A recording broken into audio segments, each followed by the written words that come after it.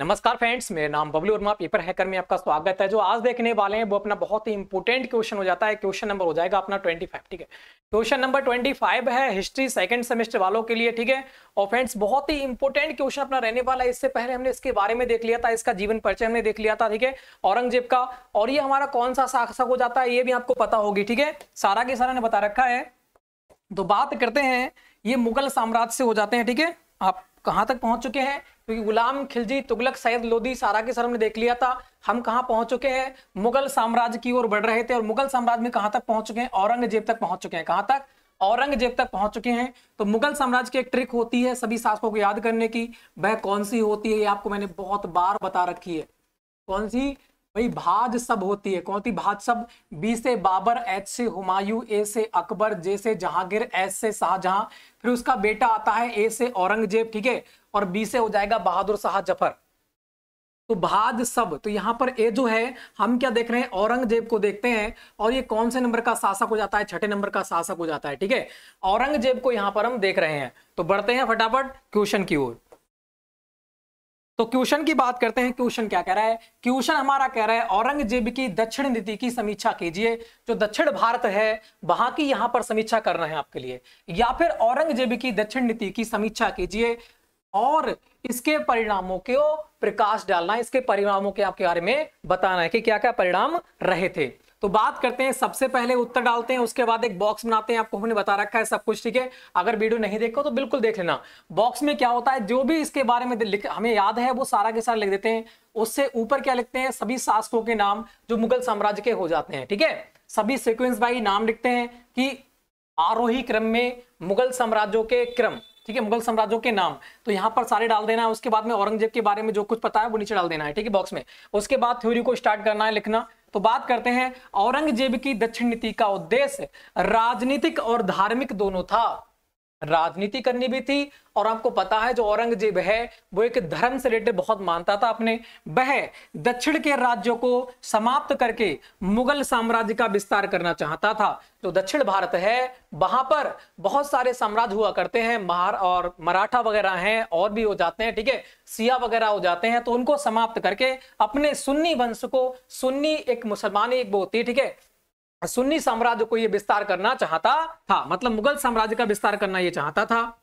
उसका विश्वास था कि दक्षिण के राज्य को समाप्त किए बिना मराठों की शक्ति का दमन करना असंभव है कि जब तक हम जो दक्षिण भारत है, जब तक हम दक्षिण भारत पर या दक्षिण राज्यों पर विजय प्राप्त नहीं कर लेते, तब तक हम क्या करेंगे?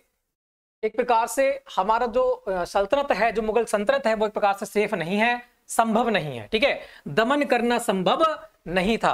आगे, औरंगज़ेब ने दक्षिणी राज्यों के राजाओं द्वारा मुगल साम्राज्य की अधीनता स्वीकार कर लेने मात्र से संतोष नहीं किया, बल्कि उसने उस राज्य के स्वतंत्र अस्तित्व को नष्ट करके उसको मुगल साम्राज्य में शामिल करने की योजना बनाई कि भाई, जो दक्षिण भारत के राजा हैं उनको वहीं पर स्वाधीन नहीं करना है। एक प्रकार से अधीनता स्वीकार नहीं करवानी है। उन्हें खत्म करके, उनके राज्य को खत्म करके मुगल साम्राज्य में मिलाना ही मिलाना है। तो इन्होंने क्या बनाई? योजना बनाई। जो पहली योजना अपनी हो जाती है, वह हो जाती है बीजापुर पर अधिकार। कौन सा? बीजापुर पर अधिकार अपना देखने को मिलता है। ठीक है? जैसे कि औरंगज़ेब अपने शासन काल के प्रारंभिक 25 वर्षों में उत्तर भारत की राजधानी में व्यस्त था। जो उत्तर पड़ता है, उत्तर भारत वहाँ की राजधानी में व्यस्त रहा। उसके बाद इसका मन कहाँ चला? दक्षिण भारत की ओर। इस अवधि में उसने दक्षिण के राज्यों पर विजय प्राप्त करने का उत्तरदायित्व विभिन्न मुगल सरदारों को सौंप दिया। मुगल सेना ने सर्वप्रथम बीजापुर राज्य पर अधिकार करने के लिए सन 1965 से 1966 ईस्वी में राजपूत राजा जयसिंह के नेतृत्व में प्रयास किया। कहाँ पर? बीजापुर में कौन भेजता है? बीजापुर में औरंगज़ेब किसे भेज रहा है? राजा जयसिंह को भेज रहा है। किसके लिए? राजा जयसिंह के नेतृत्व में सेना भेज रहा है। कहाँ पर? बीजापुर में। किंतु सफलता प्राप्त नहीं हो सकी।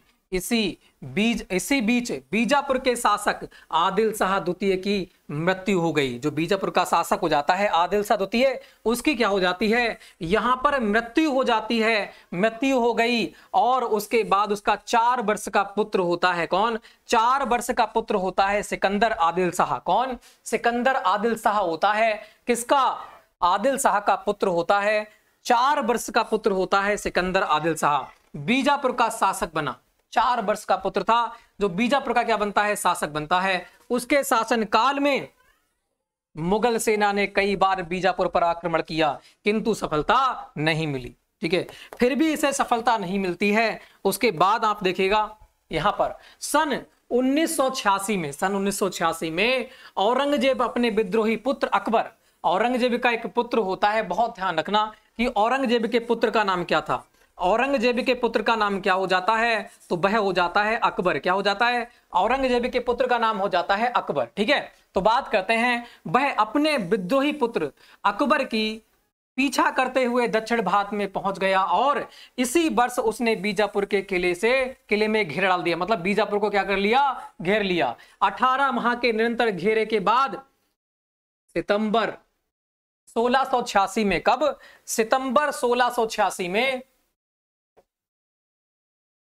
बीजापुर ने आत्मसमर्पण कर दिया। जो वहाँ का शासक था, चार वर्षीय शासक, सिकंदर आदिल शाह, उसने क्या कर देता है भाई? उसका जो सेनापति वगैरह होते हैं, वैसे यहाँ पर आत्मसमर्पण कर देते हैं। औरंगज़ेब ने बीजापुर के शासक को गद्दी से हटाकर पेंशन देना स्वीकार किया कि भी आपको पेंशन दी जाएगी, आप शासक पे नहीं बैठोगे। इसी वर्ष बीजापुर राज्य को मुगल साम्राज्य में सम्मिलित कर लिया गया।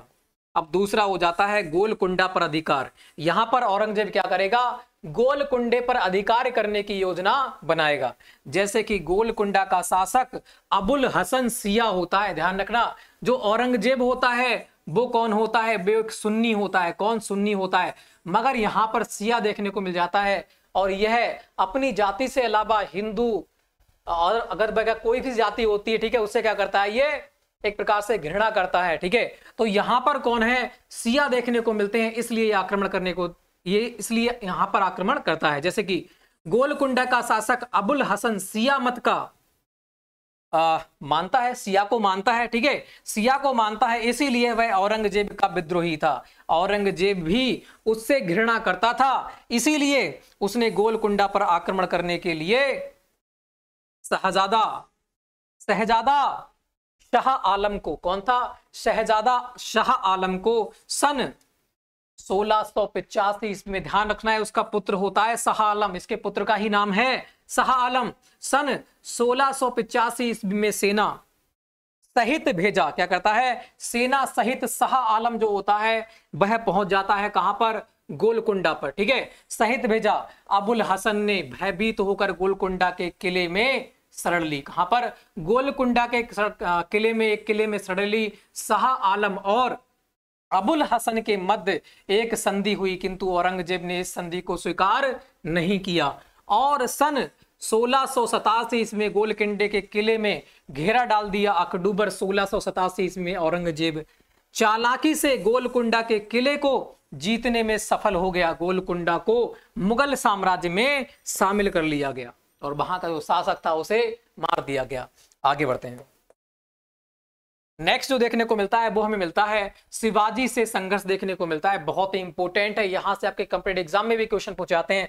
तो बात करते हैं औरंगज़ेब के समय में दक्षिण भारत में मराठों की शक्ति का उदय हुआ। कहाँ पर? दक्षिण भारत जो था, वहाँ पर मराठा शक्तियों का उदय होता है महाराष्ट्र में। कहाँ पर?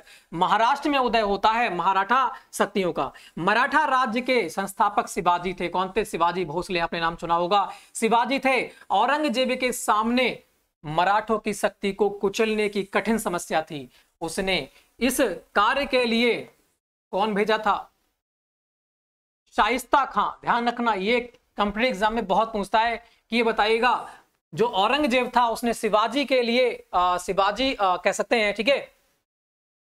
यहाँ पर भेजा था, ठीक है? किसको भेजा था? शिवाजी के यहाँ पर तो भेजा था, शाइस्ता खां के लिए। कंप्लीट एग्ज़ाम में पूछा था तो आपके एग्ज़ाम में बन सकता है, ठीक है?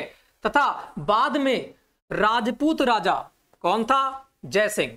राजपूत राजा जय सिंह को भेजा। सन सोलह ईस्वी में शिवाजी औरंगज़ेब में से भेंट करने गए। कौन गए? शिवाजी जा रहे हैं किसे? औरंगज़ेब से भेंट करने के लिए। भेंट करने गए तो उन्हें आगरा में बंदी बना लिया गया, किंतु शिवाजी चालाकी से वहाँ से चल वहाँ से निकलकर भाग गए या फिर बचकर भाग गए। शिवाजी अपने जीवन भर मुगलों की शक्ति को रोकने का प्रयास करते रहे। सन 1680 में शिवाजी की मृत्यु हो गई। जब शिवाजी की मृत्यु हो जाती है तो शिवाजी के दो बेटे होते हैं। एक होता है संभाजी और एक होता है राजा राम कौन होता है? दो बेटे होते हैं। एक तो होता है संभाजी। ठीक है? और एक कौन होता है? राजा राम ध्यान रखना, दोनों की नाम आपको याद रखना है। एक होता है संभाजी और एक कौन होता है? राजा राम हो जाता है। ठीक है? तो यहाँ देखेंगे कि 1680 में इनकी क्या हो जाती है? शिवाजी की हो जाती है मृत्यु। उसके पुत्र संभाजी मराठा राज्य का शासक बना। कौन बनता है? जो संभाजी होता है, ये छोटा पुत्र होता है संभाजी। ये कहाँ बैठता है? ये बैठता है गद्दी पर, ठीक है? संभाजी। संभाजी महाट मराठा राज्य का शासक बना। सन सोलह सो में औरंगज़ेब अपने पुत्र अकबर का किसका? अपने पुत्र अकबर का पीछा करता हुआ दक्षिण भारत में पहुँचा उसने मराठा शक्ति को नष्ट करने के उद्देश्य से संभाजी को राज्य पर आक्रमण कर दिया। संभाजी के राज्य पर कौन कर देता है? ये आक्रमण कर देता है। कड़े संघर्ष के बाद संभाजी पराजित हो जाता है और संभाजी को किसके द्वारा? औरंगज़ेब के द्वारा मार दिया जाता है। उसे पकड़कर कत्ल कर दिया जाता है और संपूर्ण महाराष्ट्र पर मुगलों का अधिकार हो गया। यहाँ पर महाराष्ट्र पर मतलब जो मराठा शक्ति हो जाती है, उस पर क्या हो जाता है? मुगलों का अधिकार हो जाता है, जैसे ही संभाजी यहाँ पर मारे जाते हैं। अब बात करते हैं अगले। किंतु मराठा राज्य की पूरी तरह नष्ट नहीं हो सका था। पूरी तरीका से नष्ट नहीं हो सका था। मराठों ने राजा राम की विधवा। राजा राम पहले ही खत्म हो चुके थे। राजा राम की विधवा पत्नी होती है, जिनका नाम होता है ताराबाई। कौन? जिनका नाम होता है ताराबाई के नेतृत्व में संघर्ष किया। यह युद्ध औरंगज़ेब की मृत्यु तक चला। इस प्रकार औरंगज़ेब संपूर्ण दक्षिण भारत पर अधिकार करने में सफल नहीं हो सका। ठीक है? तो यहाँ पर आपको याद रखना है, शिवाजी के दो बेटे होते हैं, एक संभाजी और एक राजा राम। राजा राम बड़ा होता है, इसकी मृत्यु पहले ही हो जाती है। ठीक है? और संभाजी महाराज वहाँ का कौन बनता है? एक प्रकार से राजा बनता है और जो ताराबाई होती है, उसके बाद में क्या करती है, औरंगज़ेब से युद्ध करती है। आगे बढ़ते हैं, औरंगज़ेब के दक्षिण नीति के परिणाम देख लेते हैं यहाँ पर। औरंगज़ेब के दक्षिण नीति के परिणाम कौन कौन से हो जाते हैं? दक्षिण भारत के परिणाम कौन कौन से हो जाते हैं? तो बात करते हैं पहला परिणाम। एक चौथाई शताब्दी का समय औरंगज़ेब ने दक्षिण विजय में व्यतीत किया, पर दक्षिण नीति की असफलता के कारण मुगल साम्राज्य को बहुत हानि उठानी पड़ी। उसके बहुत से सैनिक तथा बहुत सारी शक्तियाँ, जो सैनिक शक्तियाँ होती हैं, वो यहाँ पर मारी जाती हैं, सैनिक युद्ध में मारे जाते हैं। सेकंड जो कार्ड हो जाता है, वो जाता है, परिणाम जो हो जाता है, वो जाता है, अपार संपत्ति खर्च हो गई, धन, जन की हानि के साथ साथ मुगल सेना पर मराठों की अजयता का बहुत बुरा प्रभाव पड़ा। थर्ड जो हो जाती है औरंगज़ेब की हिंदू विरोधी नीति ने मराठों को और अधिक संगठित होने की मदद की। इससे औरंगज़ेब की शत्रुओं की शक्ति में वृद्धि देखने को मिल जाती है। और जो चौथा जो परिणाम हो जाता है, वो दक्षिण में दक्षिण में सम्राट के व्यस्त रहने से उत्तर भारत की व्यवस्था भी बिगड़ गई। औरंगज़ेब की इस सफलता के निम्नलिखित कारण हो जाते हैं। पहला जो कारण देखने को मिलता है औरंगज़ेब की सफलता का, ठीक है? दक्षिण के सम्राट के व्यस्त रहने से उत्तर भारत की व्यवस्था बिगड़ गई। जो उत्तर भारत की व्यवस्था भी हो जाती है, वो भी क्या हो जाती है, बिगड़ जाती है जब औरंगज़ेब दक्षिण भारत पर विजय प्राप्त करना चाहता है। तो वही रखा है, उसकी असफलता के कौन कौन से कारण हैं, वहाँ पर देख लेते हैं। तो पहला हो जाता है, औरंगज़ेब सदा अपने आदमियों पर संदेह करता था। उसे विश्वास पात्र व्यक्तियाँ मदद मिलनी संभव ना हो सकी। तो जो भी होता था, उस पर वो शक करता था। इसीलिए जो व्यक्ति थे, उनकी मदद एक प्रकार से हंड्रेड परसेंट नहीं मिल पाई। नेक्स्ट पॉइंट जो हो जाता है, नेक्स्ट जो पॉइंट जाता है, वो जाता है उसके पुत्र। उसके सदा असंतुष्ट रहते थे, उसके जो पुत्र हुआ करते थे, वो हमेशा क्या रहते थे? असंतुष्ट रहते थे। अतः किसी ने किसी ने मन लगाकर दक्षिण में काम नहीं किया। जो बाकी हो जाता है, जो तीसरा कार्ड हो जाता है, वो हो जाता है मुगल सेना। उस समय तक अति विशाल हो गई थी। अतः दक्षिण के पहाड़ी इलाकों में उसका जो चुस्ती के काम करना संभव नहीं था। कह सकते हैं, विशाल तो थी, मगर जो दक्षिण भारत की जो पहाड़ियाँ वगैरह हो जाती हैं, ठीक है, उनमें ये एक प्रकार से सक्षम नहीं थे। आगे बढ़ते हैं, चौथा पॉइंट जो हो जाता है, इसके विपरीत मराठा नवोदित शक्ति संपन्न जाति थी। और उनमें अपने धर्म और सांस्कृतिक की रक्षा करने का उद, उदमय उत्साह था। बस उनको क्या था? उन्हें अपनी धार्मिक शक्ति जो सॉरी धर्म और संस्कृति के रूप में मतलब ओनली सुन्नी का विस्तार करेंगे, मराठों का विस्तार करेंगे। बस इनकी नीति यही थी, ठीक है? मिलकर चलना नहीं था, इसीलिए ये क्या रहे? दक्षिण भारत में और उत्तर भारत में फिर क्या रहे?